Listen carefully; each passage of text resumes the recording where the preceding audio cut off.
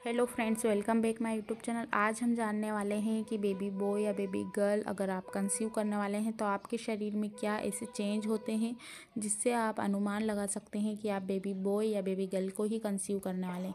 Pregnancy में वज़न बढ़ने का संबंध बच्चे के जेंडर से भी बताया गया है। एक स्टडी में इस बात पर गौर किया गया है कि प्रेगनेंसी के दौरान वज़न बढ़ने और बेबी के जेंडर के बीच में कनेक्शन की जाँच की गई, इससे पता लगाया जा सकता है। अगर आपका वेट 10 से 12 किलो या 15 किलो बढ़ गया है तो आप बेबी बॉय को ही कंसीव करने वाले हैं। एक वैज्ञानिक जो पब्लिक लाइब्रेरी ऑफ़ साइंस द्वारा प्रकाशित जर्नल में छपी, एक स्टडी में 25 सालों तक 70 मिलियन बच्चों का विश्लेषण किया गया। इस स्टडी का कहना था कि प्रेगनेंसी में वज़न बढ़ने का संबंध बेटे से हो सकता है। स्टडी के अनुसार जब प्रेग्नेंट महिला का वज़न 10 किलो के आसपास बढ़ा तो 49 परसेंट महिलाओं ने बेटे को जन्म दिया। वहीं 20 किलो के आसपास बढ़ने वाला, यानी कि जो 20 किलो का वेट जिन लोग महिलाओं में बढ़ा है 52.5 परसेंट महिलाओं ने भी बेटे को ही जन्म दिया है। डॉक्टरों का कहने के अनुसार मेल भ्रूण का मेटाबॉलिक रेट ज़्यादा होता है, उन्हें ठीक तरह से विकसित होने के लिए ज़्यादा कैलोरीज की आवश्यकता पड़ती है। इसी कारण मेल बेबी होने पर प्रेग्नेंट महिलाओं का वज़न बढ़ जाता है।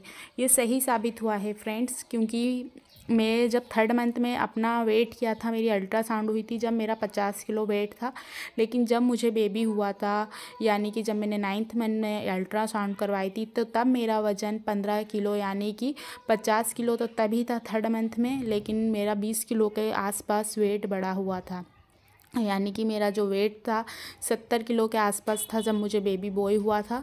तो ये बात बिल्कुल सही है। अगर आपका भी वेट बढ़ रहा है लगातार और जो आपका पेट है वो काफ़ी बड़ा है और जो पेट बड़ा है तो स्वाभाविक है आपके बेबी का भी वेट बड़ा है। बेबी भी उसके अंदर अच्छा हष्ट पुष्ट है।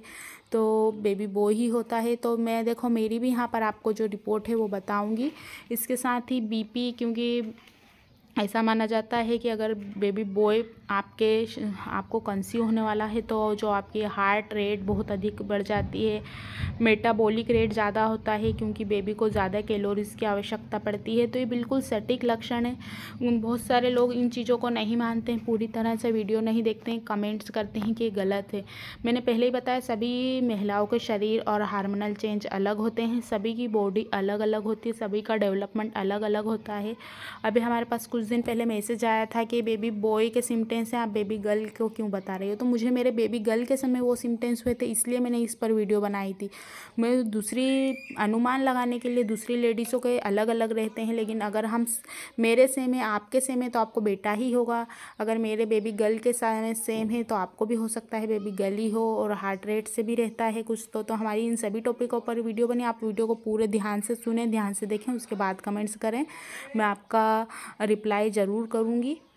देखिए, ये मेरी थर्ड मंथ की है। यहाँ पर मेरा जो वेट है पचास किलो के आसपास है और बीपी है। हमसे कमेंट्स आया था हमारे पास। हमने उनको रिप्लाई कर दिया है। तो यहाँ पर देखिए सिक्सटी है।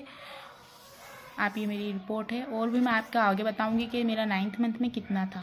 अब आप यहाँ पर डेट देख सकते हैं, तीस, छः, अठारह।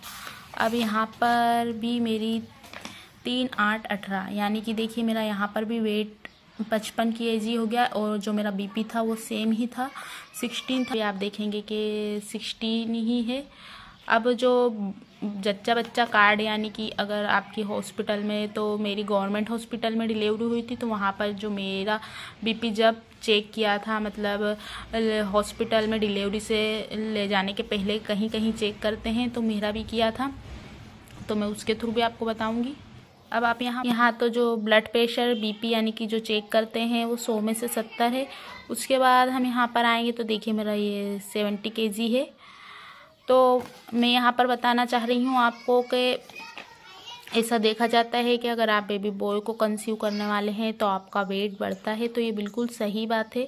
ये मेरी अल्ट्रासाउंड रिपोर्ट है। मुझे प्लेनसेटा में जो काफ़ी बेबी नीचे था और हीमोग्लोबिन और ये अगर आपको सेम चीज़ें होती हैं तो आप बेबी बॉय को ही कंसीव करने वाले हैं। इसमें कोई परेशानी वाली बात नहीं है, ये सभी चीज़ें रहती है। हीमोग्लोबिन क्या है, आपका वेट बीपी ये सभी चेक होती है। आप सभी लोग जाते हैं अल्ट्रासाउंड करवाने तो आपको ये कॉमन सी बातें सभी पता होता है। तो आज की वीडियो में फ्रेंड्स इतना ही। Thank you watching for this video